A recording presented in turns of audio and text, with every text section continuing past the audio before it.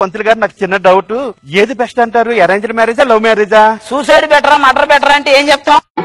నీ టేస్ట్లో ఉప్పు ఉందా? ఊర్లో రెండు కోట్ల ఉంది. ఎక్స్క్యూజ్ మీ ఎస్ ప్లీజ్ మీరు ఫేస్కి ఏదైనా క్రీమ్ వాడతారా?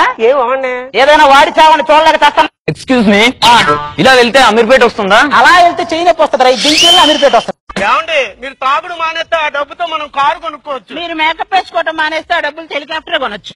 ఇది పెళ్ళివారిల్లా అబ్బే లేదు ప్రభాసిలు లోపలికి గారు వెయిట్ చేస్తున్నారు. ఎందుకండి మందు తాగి అలాగ డబ్బులు వేస్ట్ చేస్తారు? నువ్వు మేకప్లకి బ్యూటీ పార్లర్కి వీటికి ఖర్చు చేయొచ్చా? నేను చేయకూడదా? అవన్నీ చేసేది నేను అందంగా మీకు కనబడ్డానికండి. నేను తాగేది కూడా నువ్వు అన్నగా కనపడాలని.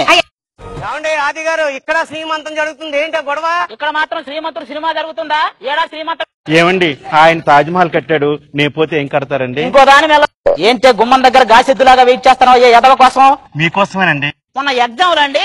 భీముడు బకాసురుని ఎలా చంపాడని ఐదు పేజీలు రాయమన్నారు. భీముడు బకాసురుని గుద్ది గుద్ది గుద్ది గుద్ది గుద్ది అని ఐదు పేజీలు రాసి చివరిలో చంపాడని రాసి అబ్బా చూడడానికి లక్ష్మీదేవిలో ఉన్నావు మా కొంచెం ధర్మం చేతల్లి పాపం గుడ్డివాడు అనుకుంటా ధర్మం చేవి లేకపోతే నువ్వు మహాలక్ష్మి ఏంటి కాల్ చేసి లక్ష్మీ బాంబులు చిచి ఎదవ సినిమా అని. రే ఏమైందిరా?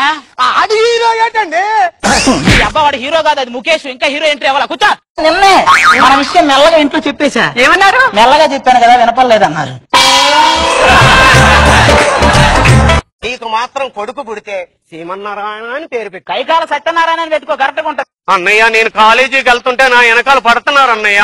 ఆయా అనుకుని అన్నం పెట్టడానికి పిలుచుంటారులే. హీరోయిన్ చూసావా ఎంత అందంగా ఉందో?